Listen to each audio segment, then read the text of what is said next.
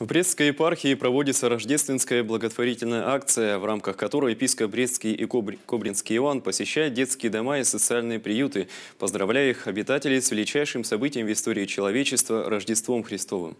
Накануне владыка посетил родильный дом и преподал архипасторское благословение роженицам и новорожденным малышам.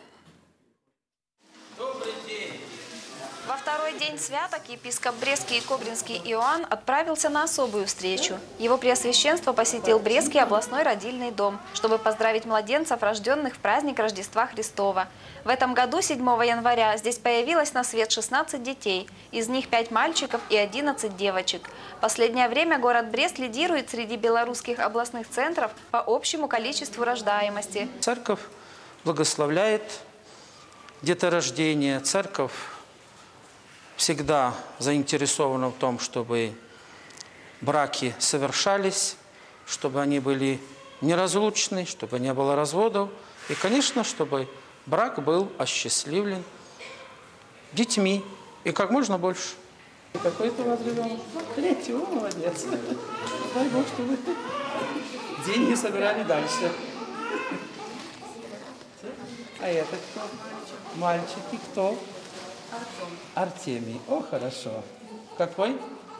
Первый, второй, первый. Дай Бог. Владыка поздравил присутствующих с Рождеством Христовым, благословил каждого ребенка и преподнес подарки их матерям, иконочки, сладости и предметы первой необходимости.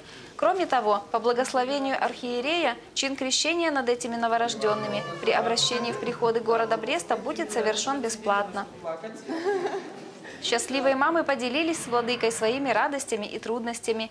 Некоторые из них еще не определились в выборе имени для малыша. Епископ Иоанн призывал женщин помнить о необходимости называть своих чад именами, присутствующими в святцах, чтобы имели они небесных заступников и покровителей. Вот уже во второй раз Владыка проводит рождественскую благотворительную акцию в Брестском родильном доме. Руководство больницы и медперсонал надеются, что подобные мероприятия станут здесь доброй традицией.